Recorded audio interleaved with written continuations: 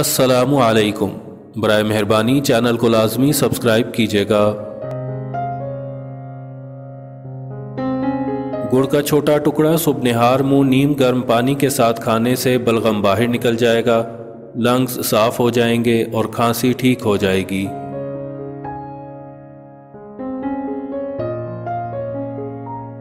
रोज़ाना खाने के बाद छोटा टुकड़ा गुड़ खाने से कब्ज नहीं होगी।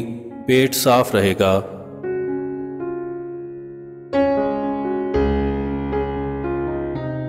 रोज़ गुड़ खाने से बॉडी का इम्यून सिस्टम क़वत मुदाफ़त मज़बूत होगी और इन्फेक्शन से लड़ने की सलाहियत पैदा होगी।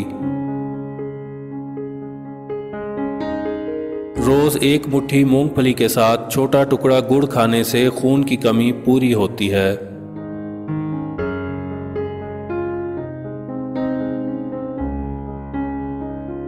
गुड़ ग्लूकोज को ठीक करता है और वज़न बढ़ने नहीं देता। सुबह चाय के साथ चीनी की बजाय गुड़ का इस्तेमाल करें तो ब्लड शुगर कंट्रोल रहेगी और वज़न भी नहीं बढ़ेगा।